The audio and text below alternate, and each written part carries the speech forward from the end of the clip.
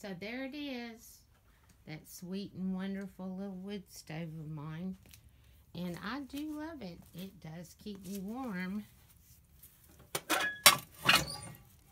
a little bit of a fire in it. It's kind of chilly this morning. However, what people don't realize, everybody's like, oh, I want a wood stove. Yeah, it's got the cute little pot on it. It's great little herringbone brick pattern behind it. It's wonderful. However, there's my ash bucket. It's a great ash bucket. And there's all about four pieces of wood left in the house. And as you can see, it is just filthy. So wood stoves are messy. That's part of the part of the program.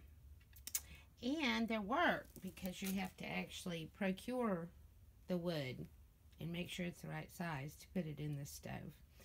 However, if you get a good system down and you don't mind a little untidiness, it sure does keep you warm.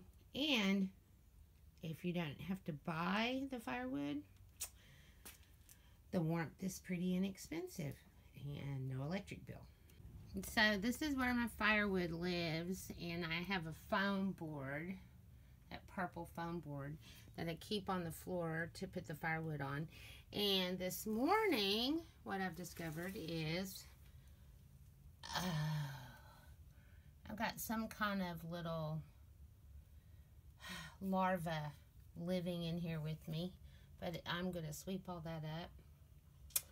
And again, if tidy is your thing and you're looking at wood stoves, you might be barking up the wrong tree.